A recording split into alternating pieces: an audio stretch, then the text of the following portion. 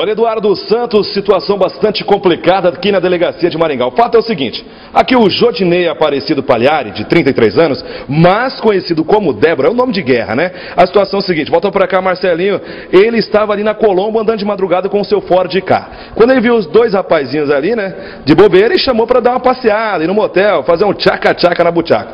Mas aí teve o rolo. Na hora de sair hoje, na manhã de domingo, os caras deram área e vazaram e deixaram aqui a Débora sozinha, né, Débora? É isso mesmo? Exatamente.